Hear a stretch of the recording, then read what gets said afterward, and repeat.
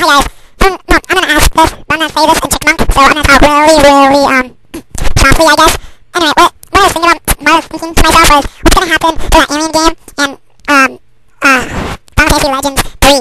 Now, those games, um, I'm gonna do them at a different time. Final Fantasy Legends 3, I'm gonna do that when, uh, HP Billy does his. Um, the alien, um, is probably gonna be a side one, so you're gonna see that one a little bit, you know, throughout the day. Or, like, you might just see it once, like, a week or something, you know? So, yeah, sorry about it. um, lately about what I'm saying or whatever, just comment me and say, what, what did this mean, or, huh? What are you saying in this video?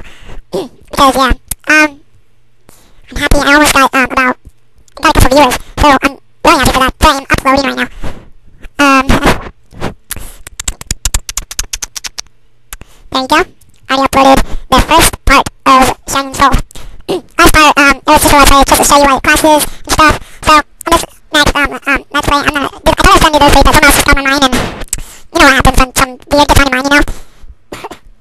like, um, uh, going out, like, going through stuff, like, uh, a garage sale, like, find different things.